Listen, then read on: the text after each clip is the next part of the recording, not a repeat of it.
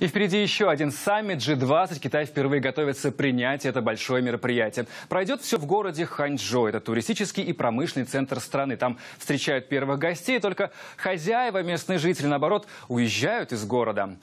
Власти ответственно отнеслись к подготовке G20 и, чтобы не создавать проблем участникам встречи, всех работников госучреждений отправили в отпуск на неделю. И чтобы белые воротнички не остались в городе отсиживаться, правительство дало им деньги на туристические ваучеры. Что касается рабочих мигрантов, они без денег уехали из Ханчжоу сами по себе, так как делать в городе нечего, фабрики и заводы закрыты. Страдают и мелкие торговцы, их магазины на время проведения саммита тоже не работают и тоже без компенсации за простой.